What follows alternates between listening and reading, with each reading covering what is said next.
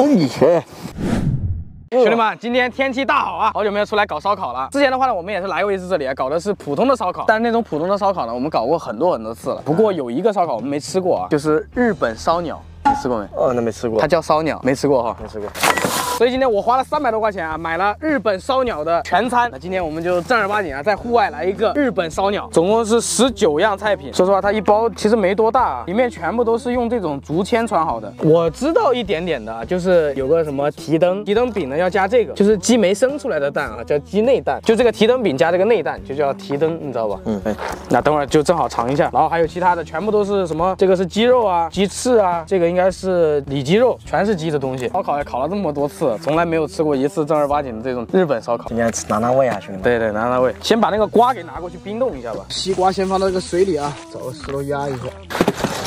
炭烤我买的是一次性的炉子啊，因为正好配得上这个烧鸟的这种感觉。这个点的很快啊。我去，可以了。来烤这种不带油边的，你就得在网上刷点油，等会儿的话就不会粘啊。这个是紫苏带皮鸡蚝肉，这个是甜椒鸡腿肉。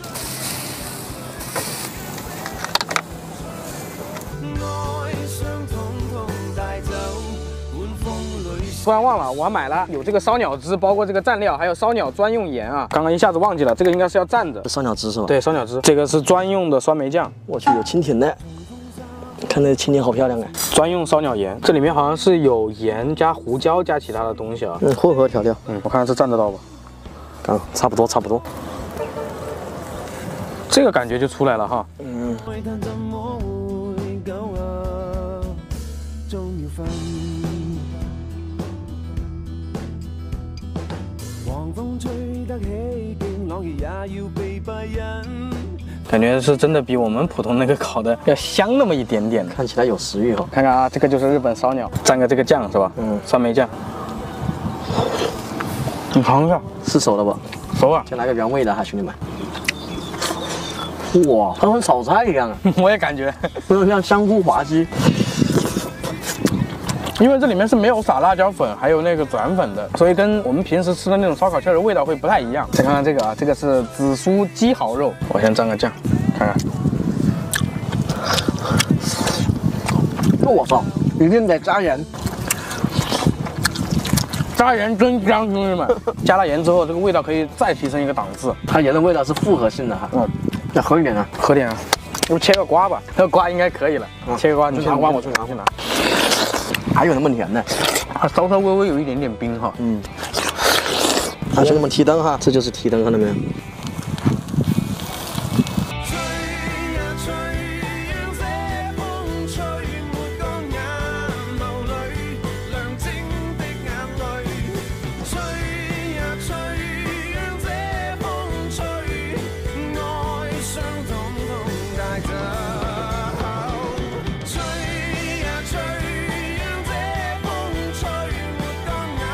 尝尝提灯啊，兄弟们！我这个是一半熟一半没熟的，我不知道那种正儿八经的它是这个是全生的还是干嘛，反正我是弄熟了一点点。我来了，我第一次吃这个，哇，爆浆，兄弟们！这个是鸡肝，就是那个肝哈，它有点鹅肝的那种感觉，你知道吧？入口即化，然后那个蛋的话就是爆浆，像流心蛋的那种感觉啊，这个都是熟了的。我再看看这个，这个全熟了，吃法肯定是不是这样吃的，但是我还是习惯吃这种熟的。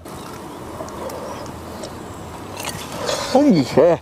我听到汁水爆出来那种感觉。不行，这个没有那个好吃。我这个鸡肝吃的就是鹅肝一样，我挺喜欢吃那个什么心呐、肝呐、喜欢吃内脏啊，好吃。我不喜欢吃猪肝，猪肝我也喜欢吃。但是我喜欢吃鹅肝。这个应该是鹅肝的平替，你知道吧？嗯，来，过来提个灯来，我不吃，好好吃，你尝一下的。啊，有尝这味道确实可以。不要，好，还可以哈，就是普通的鸡蛋。这皮跟比鸡蛋还好吃。这是鸡肝，鸡肝，哇真的是哎，跟鹅肝味道好像啊。啊，又多了一个鸡肝收割者，我就说了，我不骗你。还要吧，再再烤吧。就这个最好吃，我感觉。我觉得它应该是先把这个鸡肝烤的差不多了，再把提灯放上去，半熟的那个样子，那个吃是最好吃的。这些感觉略微逊色啊，兄弟们。没感觉它这个油气会比较少一点哦，传统的烧烤不一样，传统烧烤就是哎刷油。但是二者对比啊，我还是喜欢吃传统的烧烤。新的配方，新的味道。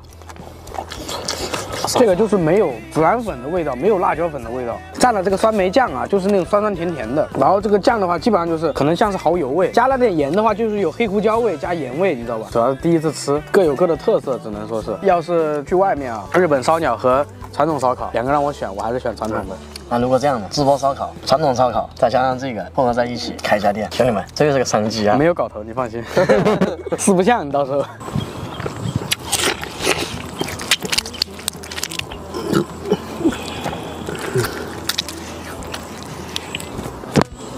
七米，我的天，这真是一整只鸡啊！价格我只花了七块九毛九，而且看了一下轮廓，好像确实是鸡啊，就这么便宜，不知道这味道咋样。来，先看看第一个啊，名称叫做奥尔良烤鸡披萨，渲染图呢长这个样子啊，看着特别的诱人，对吧？然后价格超级便宜，九块九毛钱，并且还是带鸡肉的啊，不是纯素的。正好咱们今天就尝一下啊，看看到底怎么个事儿啊。它这个呢，并没有说是多少寸的啊，这也看不出来，只写了个重量啊，一百七十克。正儿八经十块披萨，兄弟们，有芝士，有玉米，有青豆，肉的话这清晰可见啊，其实是有肉的。直接空气炸锅啊，一百七十五度，六分钟。哦，这么看感觉好像还不错啊，闻着是很浓的那种蔬菜香味，并且最主要是这上面还有芝士，有鸡肉，你知道吧？这才九块九啊，兄弟们。哦，外皮很硬啊，但是这个好像没有拉丝哎，厚还是有那么一点厚的，但对比那种铁盘披萨啊，这个还稍微薄一点，对吧？哇、你别看人家价格便宜，看到没？它该有的配置都有啊，能拉丝，味道吃的我感觉跟大牌那种披萨店里面的是真的差不多啊。而且他说是鸡肉的啊，鸡肉里面也有，除了鸡肉，还给你那么强烈的拉丝体验。这波我觉得这个披萨应该是满分啊，并且另外我可以怀疑，就是那些外面外卖店里面卖的那些披萨啊，卖的特别便宜的，我猜很大概率有可能人家就是从那上面进的货，你知道吧？如果你喜欢吃的话，建议你自己去网上买啊，也就拿空气炸锅加热一下。但是如果你没有空气炸锅的话呢，那就只能点外卖了。来下一款啊，兄弟们，这个东西又是团购平台里面放血的一个东西啊，名称叫做竹叶水，价格商家是这样描述的啊，冰镇竹叶水一毛一瓶，说是说一毛钱一瓶啊，但实际上买了这六瓶呢，花了一块钱啊。不过感觉一块钱的话呢，就光这几个瓶子应该都划算啊，就是可能造型啊，你看它这上面磨损的超级严重啊，这个就有点像是仓库里面积压了很久的货出来，你知道吧？生产日期是二零二一年十一月一十九号啊，保质期十二个月，二零二二年十一月份就到期了，怪不得一毛一瓶，这东西过期了都敢拿出来卖啊！再三确定过，应该是没开动的，就是过期了啊！稍稍微微抿一口，好吧，这个东西它已经过期了，我不知道什么味道。咱们先这样啊，抛开它过期的那个不谈，它这东西说竹叶水对吧？喝着我个人觉得这个好像跟自来水没有什么区别啊，但是就可能有一点淡淡的那种竹叶的味道。不过看了一下配料表啊，这个用的是纯净水加竹叶香精，所以跟竹叶应该是没有太多的关系啊。基本上就是生产这个东西的厂家，他可能连竹子都没采摘过一根。算了，不喝了，这已经过期了啊。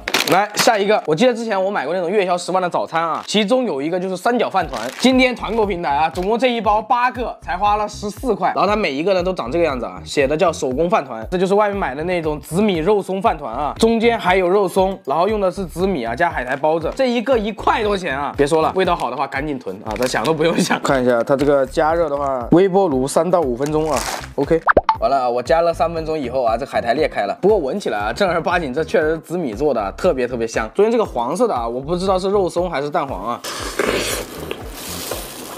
哇，吃的是咸味啊，但是不是肉松咸，它中间是有萝卜还有青豆的。配料表我也看了一下啊，排在前面就是黑米加糯米，这里好像写的是有鸡肉啊，我只能尝出来有肉香，就是没有感受到有肉的存在。但是一个只卖两块钱的价格，我个人觉得还可以啊，放到冰箱里面，如果早上来不及的话呢，出门可以先加热一个，垫个肚子也是好的啊。来下一个，兄弟们，这个东西应该属于是童年零食的回忆之一啊。东西名称叫做绿豆冰沙啊。我记得上学的时候呢，应该一杯大概是两块钱左右，喝起来类似于那种绿豆口味的雪泥的感觉。然后这里呢，我买的价格总共是十四块九毛钱，十二杯。当然这里应该是没有十二杯了，因为我已经提前喝过了。哎，这个冰箱里面我冷冻了两杯啊，这里面呢就是这个样子的，有一点点那种冰沙的感觉，看到没？哦。可以可以可以，这里面你看，它这个里面是喝不到绿豆啊，但是每一口都是绿豆的味道。以前学校买的时候呢是两块五一杯，而且那是十年前的价格，十年后啊这个只卖一块多，两块钱都不到。我估计牌子应该不一样啊，但是这个造型应该是一样的，喝的感觉也还可以啊。这喝完之后呢，里面全部都是那个雪泥，我不知道你们有没有喝过这个东西，因为以前读书的时候呢，我是经常喝啊，不要到时候搞得就只有我这个地方有，别的地方没有啊。来，最后一款名字叫做德州五香扒鸡，这个总共是一斤重的整鸡，然后价格是你们意想不到啊，花了七块九毛九分钱，这个可能是我所有的网购里面以来啊，应该是买的最便宜的一款东西。配料里面这里写的呢，用的是鲜白条鸡啊，拆开以后这样看，好像确实是一只鸡啊，这个得等加热之后才知道。来，我去稍微加热一下啊，没看错啊，正儿八经七块九毛九就是一只鸡，你看，并且啊，我要说的就是它闻起来真的超级无敌之香。啊，香香！来来来，赶紧啊！其实本来它加热完之后呢就会很香，但是为什么是无敌之香？因为就是这个价格啊，对吧？来，咱们就简单过一遍哈。它这个整体是呈现那种虎皮的感觉啊。来个腿尝一下。哇，兄弟们，正儿八经鸡肉啊，但是特别烂的。你看这个肉，我都没怎么撕啊，它就已经烂了。你看。味道呢，说真的还可以，但是这个肉质啊，我只能说有点像是罐头一样，特别烂。但是回想一下这个价格，对吧？这七块多钱吃到这一只鸡，并且还是给你腌好的，还有什么自行车、鸡胸肉哈。嗯，鸡胸肉还是有一点嚼劲的，但是鸡胸肉没什么味道。所以总的来说，这个团购平台呢，各位无聊的时候呢，偶尔可以上上刷一刷，那说不定的话，你就可能能蹲到这一份几块钱的扒鸡，味道真的还是不错的。哇，这锅照的照怎么写吧？兄弟们，前段时间的淄博烧烤是非常之火啊，当然我们也去当地吃了，但是有很多网友说呢，我们去当地吃的时候呢，那个饼子不正宗，加上我们去的时候呢，吃的是电炉，然后呢做的是室内啊，没事儿，虽然现在我们不在淄博，但是我们当地呢开了一家淄博烧烤店。那今天这个视频呢，咱们就话不多说啊，去拿拿味儿，走着，来来来来来。到了，到了，到了！它这个属于是把那个围炉煮茶和那种料理都结合在一起了，加烧烤。嗯，环境非常不错哈。啊，对，现在淄博也有啊，就是说那种农家乐里面的淄博烧烤都被揪出来了。这个如果好吃的话，应该也是一样的。走。哎。啊，对，烧烤。这环境可以哈。嗯。包括这个地方也感觉，真的，我第一次吃就是以这种氛围吃烧烤，你知道吧？我就直接不点套餐，你就直接帮我随便上，可以吗？呃，主要是三我不知道你要你要吃什么。就是串类的可以多一点。等会儿饮料我自己挑，然后那个其他的你就自己配，按四百块钱的标准。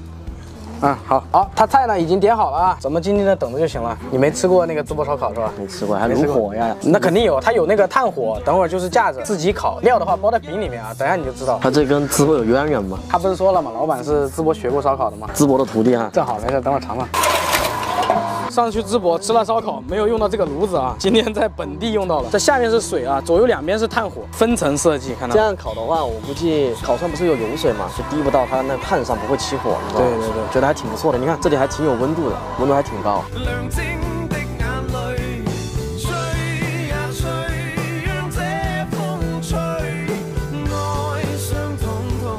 由于事先没沟通好啊，所以说它这个是半成的，嗯，没事儿啊，反正我们也烤了多少年了。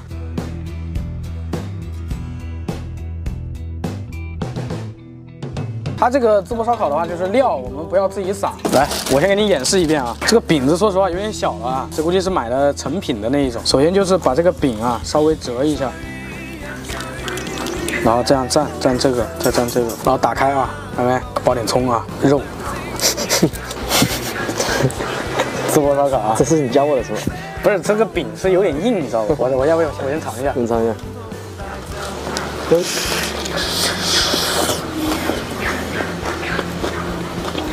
味道还可以，没有，嗯，味道还可以，主要是自己烤的，这味道能不行吗？来，你也试试，这才专业的啊。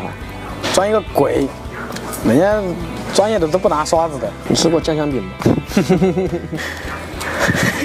好，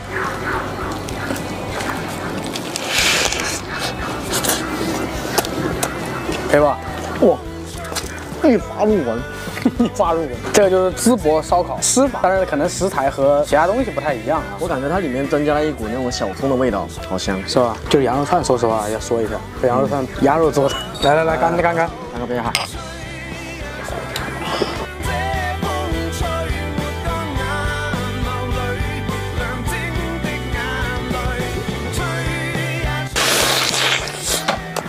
哇！風吹沒當眼眸裏，亮晶的眼淚，哇，这锅烧到灶怎么行吧？这全部烤完了的。嗯，你再可以可以那个慢慢一下，复烤一下，慢慢弄一下。好，谢谢啊。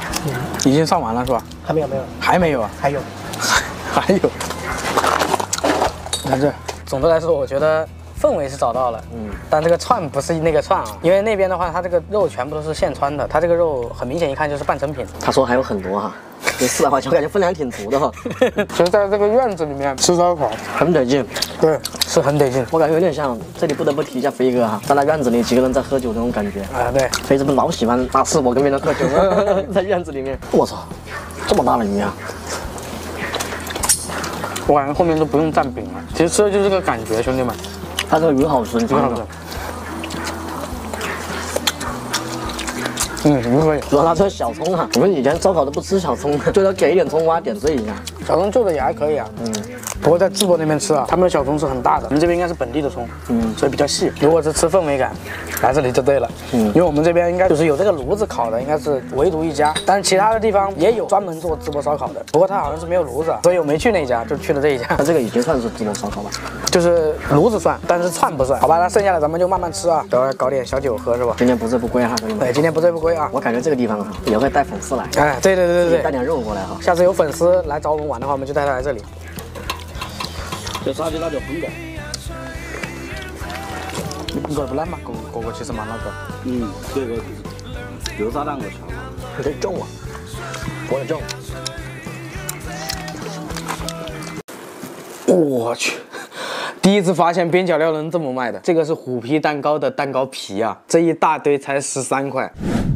之前呢，我们拍了好几期边角料评测的视频，很多人看完视频呢就纷纷找我要链接，并且啊还给大家进催更，说之前的已经吃腻了，能不能发一点新的出来？OK，今天满足大家的要求啊，今天话不多说，边角料美食大评测。来，首先看看第一个啊，第一个是五香瑕疵碎卤蛋边角料，说白了就是这些卤蛋啊，在加工的时候呢它是烂的，直接就把它当成那种瑕疵品和边角料品拿出来卖。不过这个鸡蛋啊，我看了一下，它描述说是那种瑕疵蛋啊，我看了还是有几个完整的，除了这种啊，它都已经瘪掉了，这个估计里面是碎的，基本上来说都是好的，可能有一些就是中间这个地方没有蛋白了啊。另外配料表也查了一下，排名第一的是鸡蛋啊，所以说这个正儿八经是用鸡蛋做的。来，我们先看看第一个啊，这个应该是碎的，这个是虎皮鸡蛋啊，中间只有半个。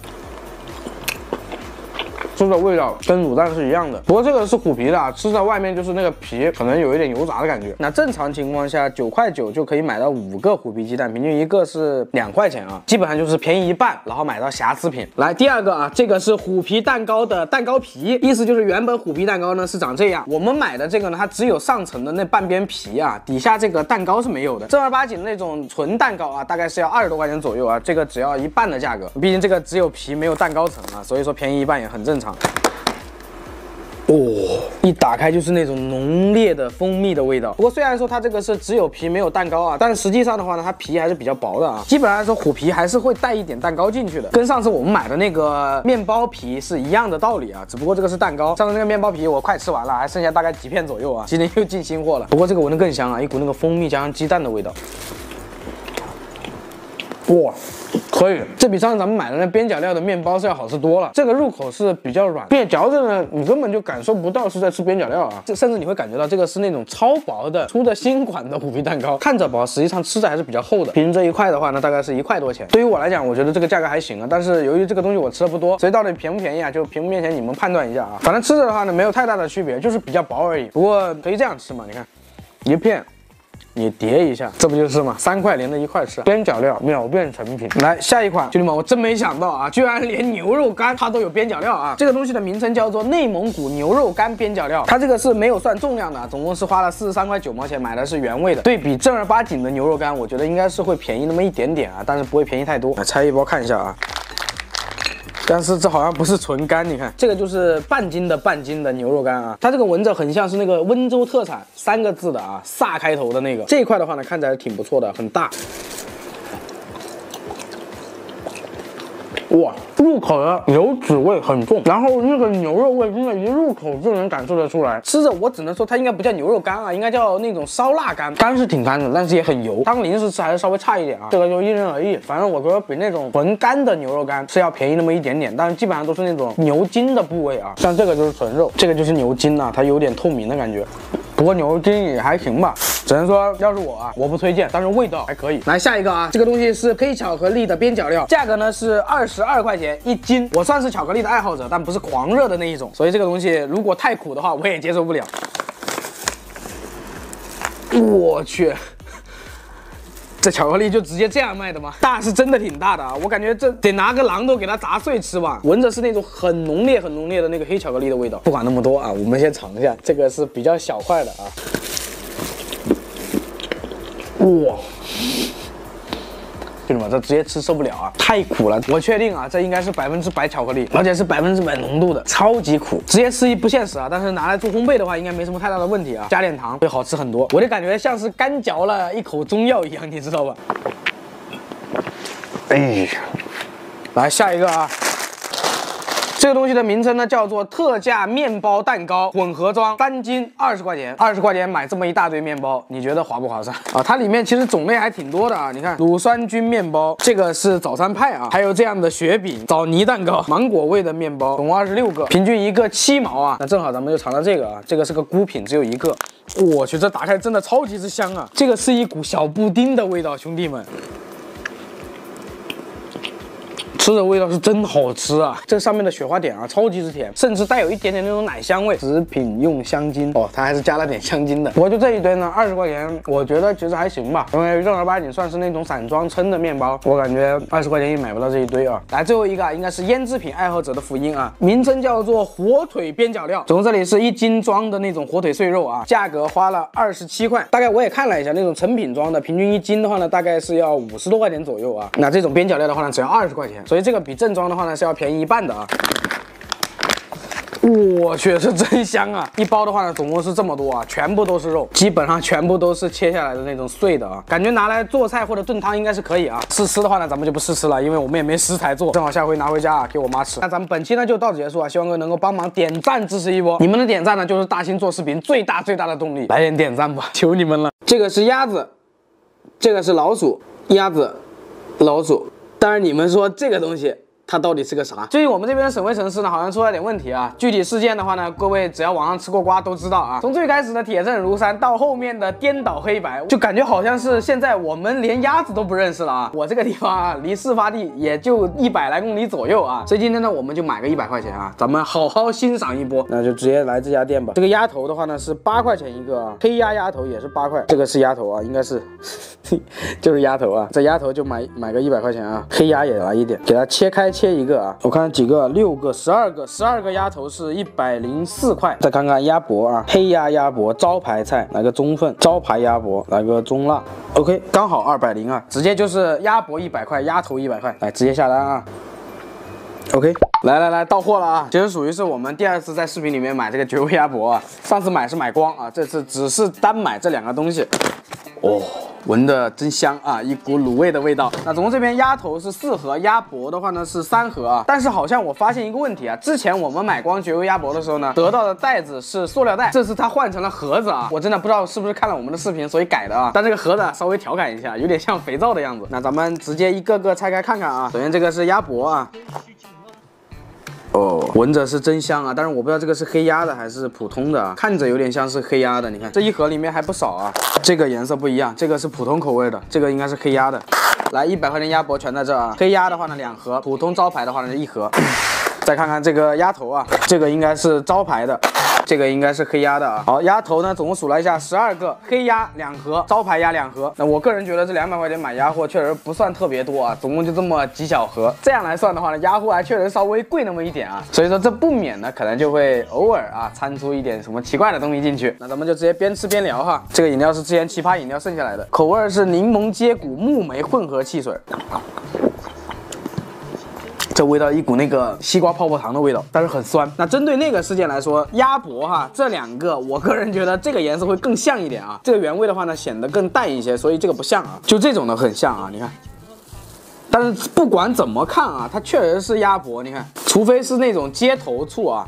只有这种，它是可能会有那么一点奇怪，但是也仔细看也是鸭脖的一种啊，只是头尾部位不像网上流传出来的，连胡须都有，还说是鸭脖。我们这个应该是没有胡须之类的啊，你看这有须的都都是肉比较长啊，然后甩出来的，看着确实挺正常啊，没有任何区别。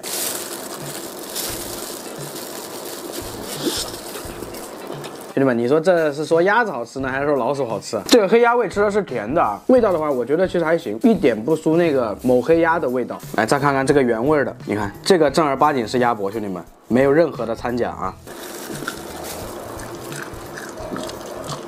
白色肉味稍微淡一些，我个人还是比较喜欢吃黑鸭的。黑鸭是那种甜辣味，这个有点像是那种卤香带一点点辣味。OK，接下来重点来了啊，鸭头，来我教大家认一下，鸭头呢，它大致呢是有这么长的啊，另外的那个东西的头它可能就只有这一半，整一个的话呢，基本上一半全部都是鸭的嘴巴啊，然后这后半部分才是它的头，并且我这个看了一下，毛还是剃的挺干净的，没有任何的杂毛，也没有那些多出来的东西啊，所以我希望各位啊，不要在弹幕面前再指鸭为鼠，指鼠为鸭了啊，然后从中切一半的话呢，是长这个样样子啊，脑袋在这个地方，这个是嘴巴啊，但是还是很长啊，没有改变它这个长度。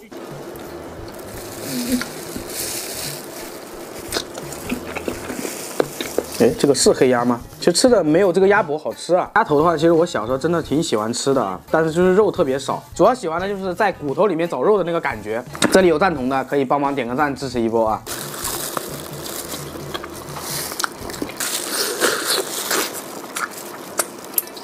不禁要说一句啊，如果把嘴巴去掉，这鸭头就是这样的。不过怎么着，我觉得应该也不像那玩意儿啊。再看看这个原味的，原味的我估计跟鸭脖应该是一样的味道。你看啊，我把这个嘴巴给去掉啊，没有嘴巴的鸭头长这个样子的，一目了然，对吧？我们吃鸭货还是吃了很多年的，这点常识还是有的啊。现在呢，高考学子呢正在拼命努力奋战高考，我相信肯定我也有粉丝现在正在高考当中啊，所以是祝所有的高考学子能够旗开得胜，取得好成绩。就不知道为啥这鸭头怎么那么辣呀？哎，算了算了，不吃了啊。今天呢，主要也就是娱乐一下啊，剩下的这些吧，等会儿给其他人再分一下啊，一定不会浪费的。哎就是这玩意太辣了，我自己吃可能遭不住啊啊。不知道你们有没有真正数过啊？一包纸巾号称能够抽一百下，但实际上真的有一百抽吗？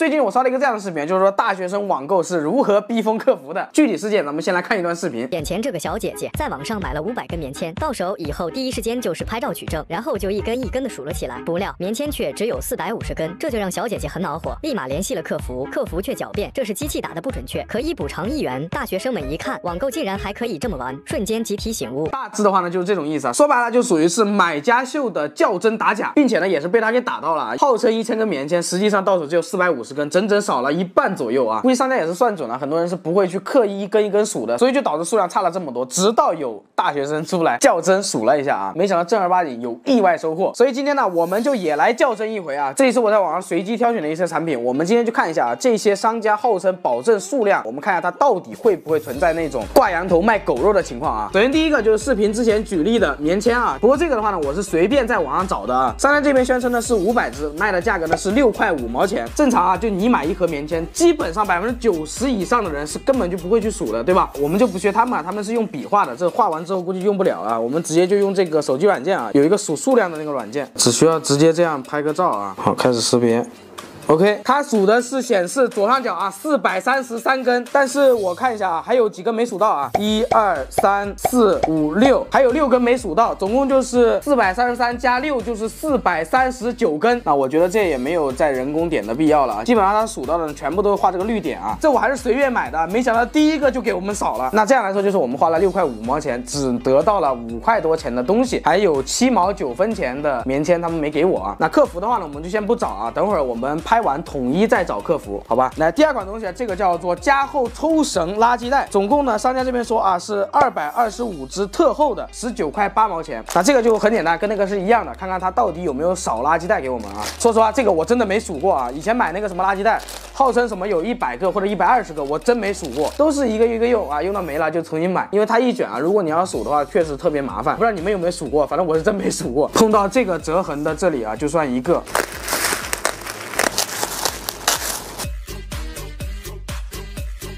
OK 啊，我是全部拆开了啊！我当时很傻啊，我还给它平铺开，当时直接变成这样子多好啊！但是撕这个的话呢，我整整撕了二十多分钟，所以刚刚那个应该得改一下啊！不是百分之九十以上人不会数，应该是百分之九十九以上的人都不会数。本来刚开始数了，但是由于太多了又忘记了，我们再重新数一遍啊！一二三四五六七八九十。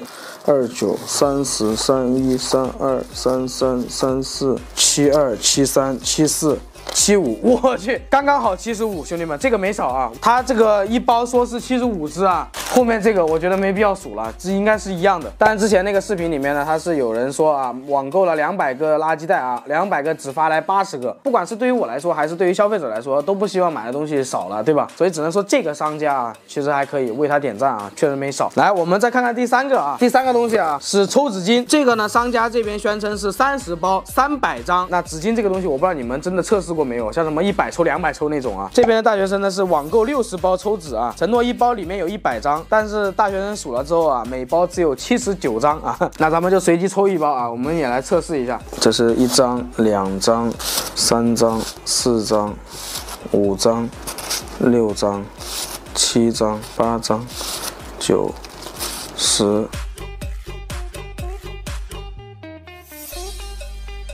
五七五八五九六十，完了，还剩下这么一点，现在才数到六十，兄弟们，六十一、六十二、六十三、六十四、六十五、六十六、六十七、六十八，我去，真的，这纸巾真会少啊！这一包啊是一百抽的啊，就相当于是一包我们少了三十二抽啊。那这样算的话，我们相当于是买一包纸啊，我们只得到了百分之六十八，就快少到一半了，兄弟们。那如果我们每一包呢算它七十抽，总共这里三十包的话呢，我们就是两千一百抽，就整整少了我们九百抽。九百抽的话呢，就相当于按一包一百抽来算，少了我们九包啊，二十六块九除以三十，平均一包是八毛九，少了我们九包，就是少了我们八块钱。兄弟们，八块钱呢？你说少个一两抽、四五抽，我觉得还行，但是它少了几十抽，兄弟们。所以我觉得，如果各位在网上买那种抽纸啊，建议各位买完之后呢，一包稍微自己抽一下啊。来下一个哈，这个是在网上买的紫龟脐橙啊，总共是六十三块八毛钱五斤，商家宣称每一颗单果都在八十五毫米及以上。那事先声明，同样含量的情况下，在大小不一的时候，它价格是不一样的。所以说这个其实还是有测的必要啊。带着箱子称呢，总共是两千八百克。我们把箱子去皮看一下啊，箱子去完皮啊，总共是两千四百八十多啊，少是少了那么一点点啊，但是我感觉应该是可以忽略不计啊。那接下来的话呢，就是测尺寸的时候啊，来卡尺归零啊。好，第一个算完七十九点七啊，连八十都没到。第二个这样算是八十二点四，但是反过来截到它这个疙瘩上面啊，是八十七点七，平均算一下除以二的话呢是八十四四点四啊。那这样说这个其实也没到。第三个八十一点八，这个八十四点五，这个不管怎么数啊，肯定是没到的，完完全全没到。来，这个只有七十多啊，也是完完全全没到。这个八十四点三，差一点点啊。这个八十六点一，完全过了。八十五毫米的标准呢，只有这两个啊，测出来呢都是八十六毫米左右。然后有三个呢是完全没有到的，只有八十一，甚至还有七十多的。有三个呢是八十四点几的尺寸啊。这样的话，我们就姑且也算它过。如果严格意义上来讲呢，它其实是不算的啊。那我们这边买的呢是八十十五毫米以上的啊。然后它这里面的价格呢是有两种，一个是八十到八十五的呢是五十块钱，八十五毫米的呢是卖五十八块八。按照八十五毫米以上呢，每一颗橙子是七块三毛五分钱。但是按照八十到八十五毫米来算的话呢，每一颗橙子是六块三毛五。那我们这边有三个橙子，两个橙子呢是八十多毫米，一个橙子呢是七十多毫米。按七十多毫米来算的话呢，四十七块八毛钱五斤，平均一个五块九，相当于是这一堆橙子啊，也要退我们大概五块多钱左右。所以如果各位以后碰到这种按尺寸来规定不同价格的啊，你就尽量啊挑那种尺寸比较低的或者尺寸中等的，一定不会吃亏啊。这是我个人的经验。像这种最大尺寸的，我建议还是千万别买啊，因为商家他也不能保证就是每一个尺寸都是一模一样的。这个就叫专业。